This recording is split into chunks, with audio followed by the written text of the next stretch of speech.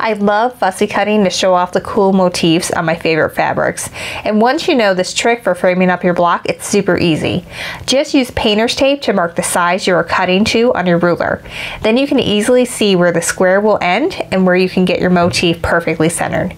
Keep in mind that the outside quarter inch won't be visible because it will be in the seam allowance. You might need to do a bit of tugging with your fingernails to get everything centered just right. I'm working with these super cool trellised owls with the chalk paint texture from my first fabric collection Nocturne with QT Fabrics. It comes in two color options. Once you're happy with how everything looks, cut to the right and top of your ruler.